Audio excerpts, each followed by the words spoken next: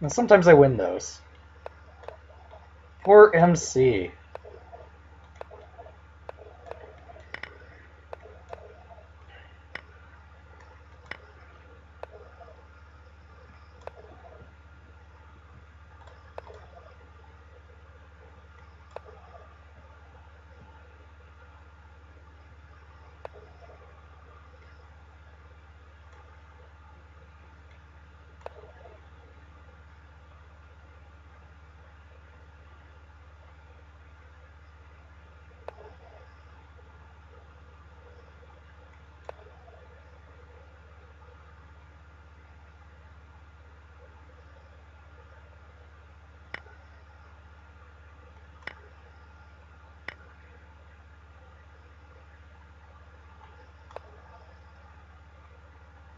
Take my pawns.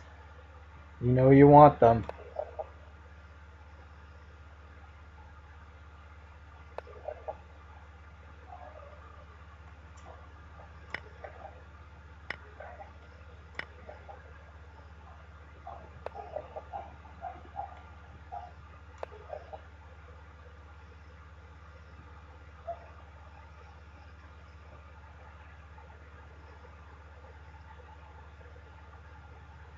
Well, you have to set traps like every single move, and eventually they'll fall for something. Hi, vey. I just allowed an interesting trap, did I not? So, because of back rank made threats, I have to give back the piece.